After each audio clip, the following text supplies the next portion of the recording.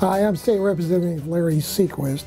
I'd like to talk to you about it, uh, probably the single most important decision that the legislature is going to make in the next session. We start in January, and it has to do with school funding. I'll explain to you why it's so important. The Supreme Court has, following the state's constitution, which requires full funding for our schools, told us, told the legislature, that we're not following the law, the Constitution. We need to be fully funded.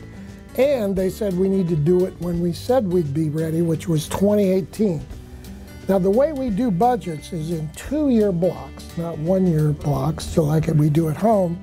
We do two year budgets. So that means starting where we are now, we're about to build a new two year budget. We'll have to do that twice more to get to 2018. And we not only want to do K 12, the kindergarten, elementary school, high school funding that we need in 2018 to be fully funded, we've got to figure out how we build the ladder that goes from here to there so that we step by step are adding money to 2018. Now, what's important about this decision? We also have to do early learning we need our young kids able to be ready to go to school. And we have to do our universities and colleges. We have to do the higher ed. So we've got to figure out how to march up all three of those ladders higher ed, K 12, early learning. And that's going to take some strategy about what kind of money goes where and what you think about that because it's going to cost all of us more money than we now have in the state budget. Yes, and we're going to keep working on being very efficient.